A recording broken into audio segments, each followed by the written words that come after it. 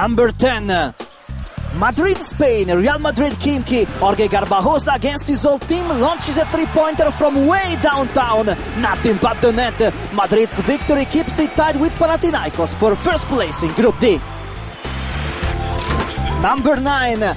Ljubljana, Slovenia, Olimpija Maccabi, Sani Becirovic posts up, passes off, Vladimir Golubovic, slam, just the same. Maccabi want to stay first in Group C.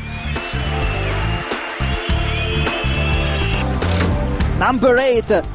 Barcelona, Spain, one good block deserves another. Barcelona's Terence Morris rejects Fenerbahce's Omer Asik, but then Asik goes the other way and gets some revenge on November MVP Pete Mickeal. Barcelona nonetheless won a blowout to become the first top 16 qualifier of the season.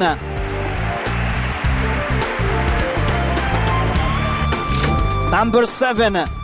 Moscow, Russia, Ramunas Siskauskas to Sasha Kaun. The rim rocks. CSKA is on the rise again with its third consecutive victory. Number 6. Orléans, France. First, Anthony Dobbins guard rises up to block Sofoklis Schortsanitis from behind. Then Justin Doellman rebounds, outlets, and finishes the fast break from long range. Olympiacos needed a huge fourth quarter comeback to keep Orléans from getting its first EuroLeague victory ever.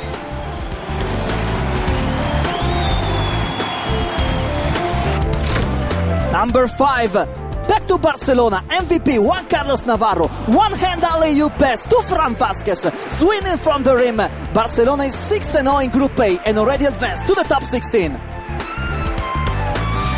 Number 4.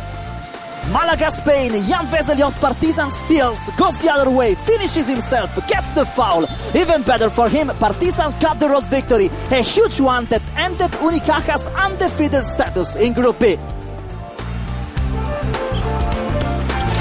Number 3. Oldenburg, Germany, last minute, came on the line. What a block by Prokom's Qyntel on Oldenburg's go-ahead dunk try. At the other end, Woods feeds Eric Campbell for a layup. Game over. Prokom takes fourth place in Group D. Number 2. Back to Moscow, Alexei Shved splits the defense. Andrei Vorontsevich detonates the dunk. The very next day, Shved went on loan to another team, but he left CSKA fans something to remember. Number one. Newcomer Sean Singletary of Caja Laboral, coast to coast, between two defenders, scoop shot, up and in. And just like that, a EuroLeague newcomer makes off with the best player of week 6.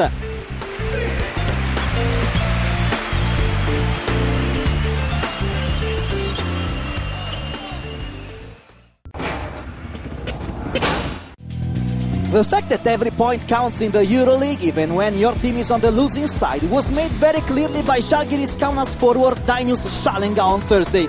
Even though his team lost on the road at Asvel Basket in a battle for fourth place in Group A, the veteran forward piled up the top performance index rating among all EuroLeague players to become Week 6 MVP. And his extra effort could pay off down the road for Žalgiris.